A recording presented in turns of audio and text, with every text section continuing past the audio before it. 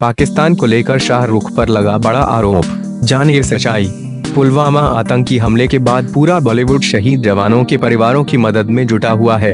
अक्षय कुमार, अमिताभ बच्चन, अजय देवगन समेत तमाम सितारे जवानों की आर्थिक मदद के लिए आगे आए हैं। ऐसे में शाहरुख खान सोशल मीडिया में कुछ लोगों के निशाने पर आगे हैं।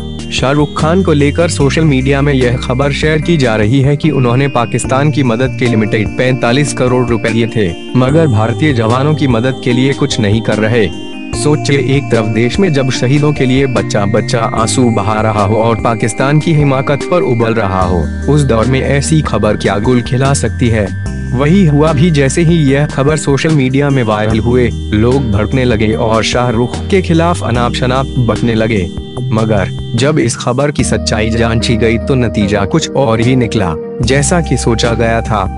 दरअसल, कुछ शरारती तत्वों ने सोशल मीडिया में शाहरुख को बदनाम करने के लिए एक वीडियो को एडिट करके फैलाना शुरू कर दिया।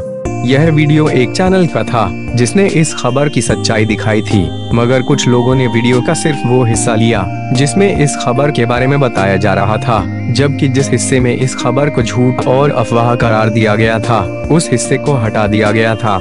जब शाहरुख के फैंस को इस बात का पता चला तो वो एक्टिव हो गए और सोशल मीडिया में स्टॉप फेक न्यूज़ अगेंस्ट के हैशटैग से सच्चाई शेयर करने लगे। कुछ यूज़र्स ने शाहरुख के चैरिटी वर्क को भी शेयर किया और कहा कि शाहरुख अपनी चैरिटी का प्रचार करने में शर्माते हैं, लिहाजा ऐसी बातें सामने नहीं आ पाती।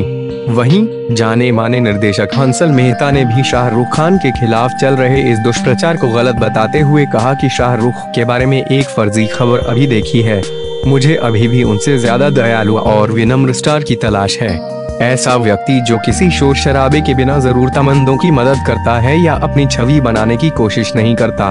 मुझे यह कहने के लिए नहीं कहा गया है, फिर भी कहना चाहता हूँ stop fake news against S के शाहरुख ने पुलवामा आतंकी हमले के बाद ट्वीट करके अपनी संवेदनाएँ ज़ाहिर करते हुए कहा था, हमारे बहादुर जवानों के परिवारों के लिए दिल्ली संवेदनाएँ।